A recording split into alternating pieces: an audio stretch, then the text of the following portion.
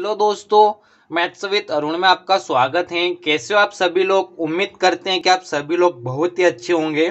तो दोस्तों, आज हम इस वीडियो में बात करने वाले हैं प्रॉफिट एंड लॉस चैप्टर से, टाइप फोर के क्वेश्चंस को। और दोस्तों, इससे पहले मैंने टाइप थ्री तक के अलग अलग टाइप के अलग अलग क्वेश्चंस का वीडियो अपलोड कर दिया है।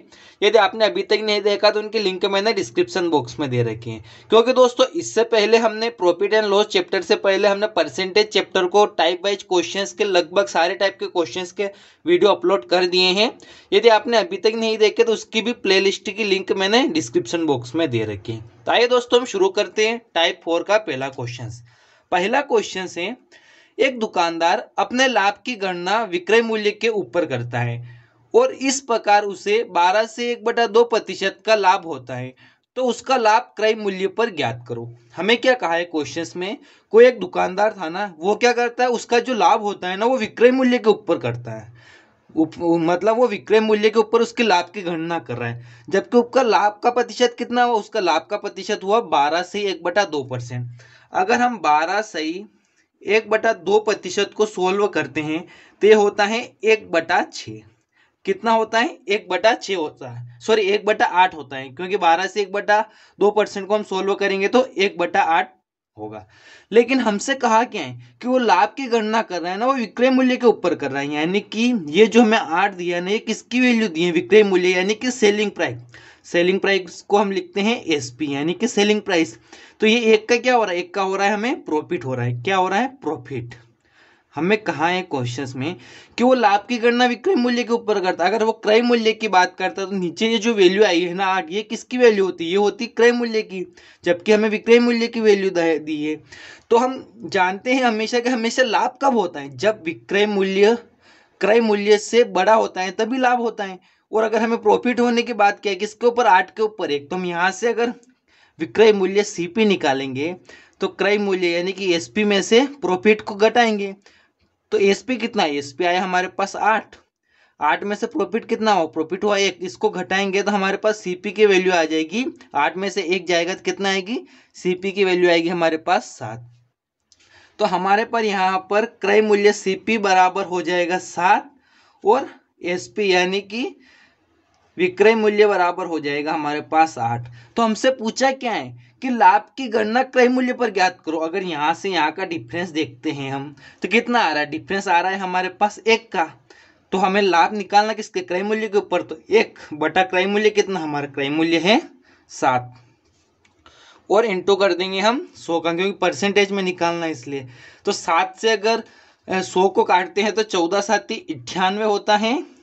और फिर बचेगा हमारे पास दो बटा सात, यानी कि चौदह से दो बटा सात प्रतिशत उससे लाभ होगा। किसके ऊपर लाभ होगा? उससे होगा क्रय मूल्य के ऊपर। तो दोस्तों, इस तरह से इस क्वेश्चंस को हम रेथसो मेथड से क्वेश्चंस को सोल्व करते हैं। लेकिन दोस्तों, मैं आपको समझाने के लिए इतना कुछ लिखा है, आप इसको शॉर्ट भी कर सकते हैं। शॉर्ट कैसे? बारह से एक बटा दो परसेंट की बात की है उसने। अगर बारह से एक बटा दो परसेंट की बात की इसकी वैल्यू कितनी होती? है एक बटा आठ। यानी कि जो बट नीचे वाली वैल्यू होगी, वो किसकी होगी? वो होगी विक्रय मूल्य की। विक्रय मूल्य की बात क्या वो लाभ हो रहा है कितने का? एक का। तो आठ में से आप सीधा एक घटा दीजिए। कितना? आठ में से एक घटाएगी। जो ऊपर वाली वैल्यू रहेगी ना, हमेशा वो घटा दीजिए। आठ में से एक घटाएँगे, कितना आएगा? सात। सात आएगा तो सात को क्रय मूल्य लिख लीजिए और जितने का प्रॉफिट है, उसको ऊपर लिख लीजिए और इंटू कर दीजिए। सौ का तो हमारा आंसर आ जाएगा चौदह से दो बटा सात परसेंट इस क्वेश्चन का आंसर है। आइए दोस्तों, इसी टाइप का हम एक क्वेश्चन और सोल्व करते हैं ताकि आपको और भी अच्छी तरीके से क्वेश्चन समझ में आ जाए। दोस्तों, अगला क्वेश्चन है। एक वस्तु को आठ से एक बटा तीन प्रतिशत लाभ पर बेची जाती है, लेकिन दुकानदार लाभ प्रतिशत विक्रय मूल्य पर ज्ञात करता है। तो दुकानदार का वास्तविक लाभ प्रतिशत ज्ञात करूँ। हमें क्या कहा है? किसी वस्तु को आठ से एक बटा तीन प्रतिशत के लाभ पर बेची जाती है। अगर हम आठ से एक बटा तीन परसेंटेज कुछ को सोल्व करेंगे, आठ या चौबीस, और एक पच्चीस पच्चीस बटा तीन, और परसेंटेज को हटाएँगे तो बटे में हो जाएगा सौ।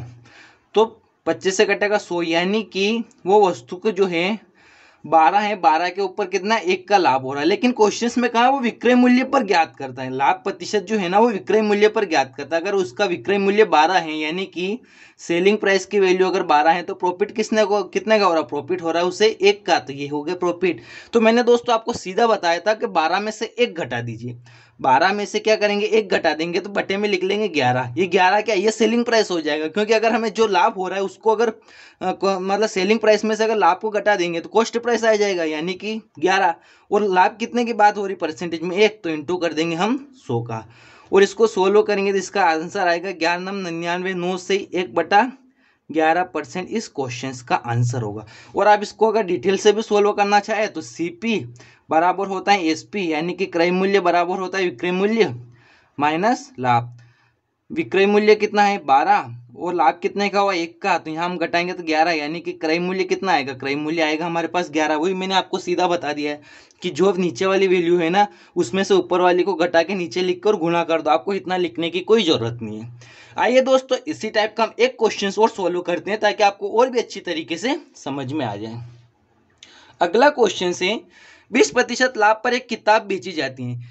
किंतु लाभ की गणना विक्रय मूल्य पर होती है। तो लाभ प्रतिशत क्रय मूल्य पर ज्ञात करो। बीस प्रतिशत को अगर हम सोल्व करते हैं तो कितना होता है? बीस परसेंट को सोल्व करेंगे तो एक बटा पाँच, यानी कि पाँच क्या है? ये पाँच है सेलिंग प्राइस विक्रय मूल्य, क्योंकि क्वेश्चंस में कहा है, लाभ की गणना विक्रय मूल्य पर करता है वो, यानी कि एसपी तो प्रॉफिट कितने का हो रहा है? प्रॉफिट हो रहा है हमें एक का। तो हमें सीधा निकाल निकाल लेंगे। पाँच में से एक घटाएँगे तो कितना आएगा? चार। बटे में चार इंटू कितने का लाभ हुआ? एक का लाभ हुआ तो इंटू कर देंगे हम सौ का। तो हमारा आंसर आ जाएगा, सौ कटेगा पच्चीस बार, यानी कि पच्चीस परसेंट। उसे क्रय मूल्य पर लाभ होता है, ये इस क्वेश्चन का आंसर होगा। यानी कि दोस्तों, मैं उम्मीद करता हूँ कि आपको मेरे समझाने का दोनों तरीके से क्वेश्चन समझ में आ गए होंगे। और दोस्तों, यदि आपको वीडियो अच्छा लगा तो प्लीज़ मेरे चैनल को ज़रूर सब्सक्राइब कीजिए और वीडियो को अधिक से अधिक शेयर कीजिए। और दोस्तों, वीडियो देखने के लिए आपका बहुत बहुत धन्यवाद।